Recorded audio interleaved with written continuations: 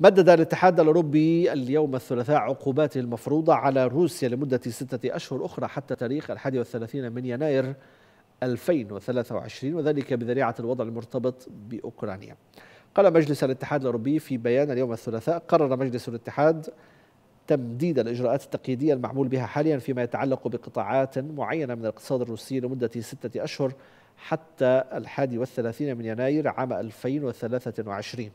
وتستهدف العقوبات الاقتصادية التي بدأ الاتحاد الأوروبي في فرضها منذ أكثر من سبع سنوات قطاعات المال والطاقة والدفاع في روسيا وعلى وجه الخصوص آه، أيضا عدد من البنوك والشركات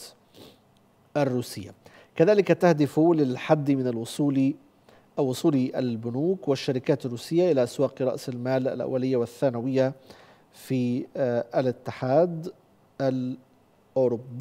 وتم فرض حظر على استيراد وتصدير الأسلحة والسلع ذات الاستخدام المزدوج كما حد الاتحاد الأوروبي من وصول الجانب الروسي إلى عدد من التقنيات والخدمات لإنتاج النفط والتنقيب عنه.